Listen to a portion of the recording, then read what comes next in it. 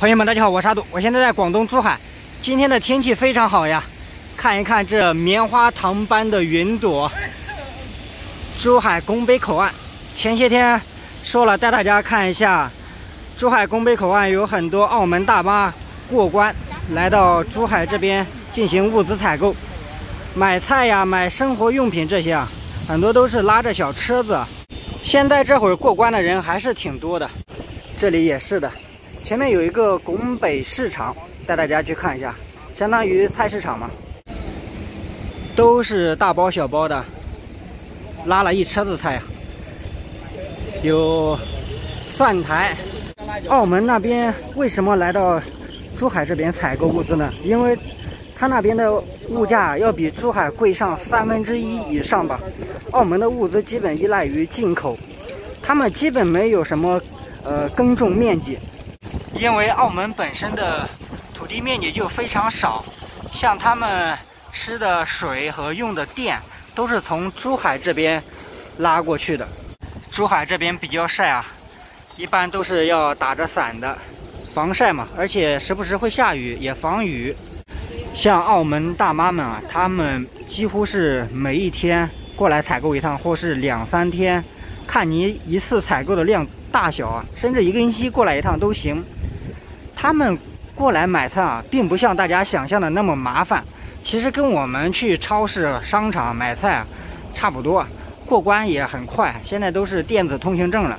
对面是珠海口岸购物广场，然后往这边走呢，就是口岸市场。这边就是卖菜的了。像他们啊，过了关之后啊，回自己家里面，有的离得近的不需要乘交通工具。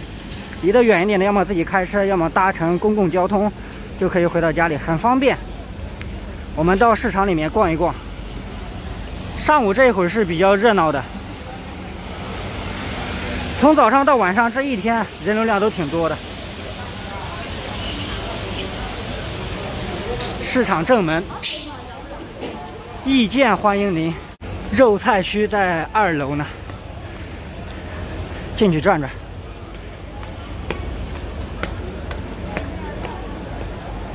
这里面卖的东西挺多的，还有干货，玉米、大蒜、水果。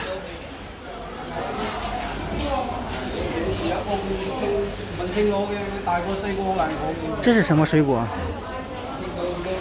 青菜，宁夏小上海青，十元两斤；白菜心是十元两斤。这边青菜基本都是十块钱两斤啊。哇，都是在这边摊子，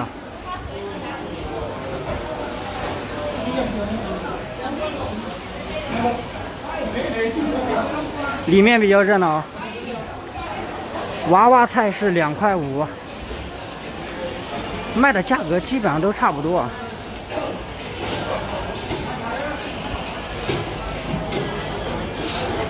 菜和肉是在一起的，这边是卖肉的。排骨四十五，五花三十五啊，这边都是卖肉的。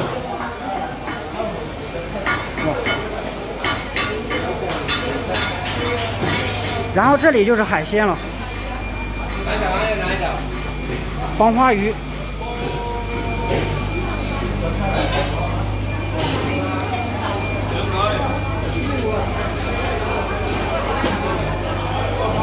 这边鱼腥味比较大，螃蟹、蛏子、带鱼，这边还是蔬菜。哇，这里面是够大的，真是卖啥的都有啊！烤鸭、烧鸡、凉皮、豆泡、面条。前面是调料区了，这里面啊真是热闹。如果是再早两个小时啊，估计都是人挤人的。然后我们到一层来看一下，这边卖的是百货，衣服、鞋子都是比较平价的啊。这要比拱北口岸市场里面便宜多了，很有生活气息的地方。走在这里有点像是走在我们镇上的呃大街上了，就卖的东西啊，还有这种感觉，很古朴啊，没有什么华丽的东西。看家电、风扇、电磁炉，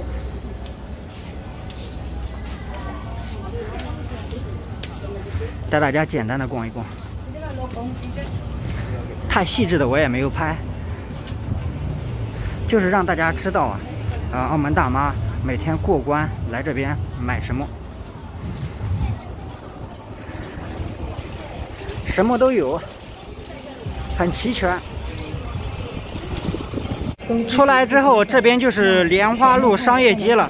这条街目前正在改造，说以前这里啊人流量是很大的，因为它靠近口岸嘛。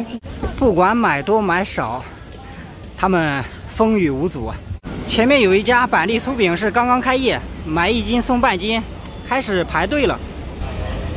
这里也有卖烧鹅、烧鸭、烧鸡的。前面是一家水果店，生意蛮好的。里面的情况带大家简单的看了下，和咱们正常的菜市场也是大同小异。澳门的物价是比珠海要高很多。拱北市场的物价在珠海属于什么水平呢？会不会说高那么一点呢？珠海的朋友们，多年来呢，珠海已经成为澳门的后勤保障地，可以说两座城市融合的非常接近了，相处的也很融洽友好。珠海呢，为澳门提供着一些生活设施和物资，同时澳门呢，又为珠海提供着一些就业岗位，在这里也是要祝福呀，能够越来越好。最后再给大家看一下今天的天气，这个白云怎么样？太漂亮了，这才应该是珠海原本该有的天气。珠海的行程已经接近尾声了，要告别了。在最后一天能够看到，呃这样的天气啊，心里十分的开心。行，视频就到这里了。珠海经济特区好。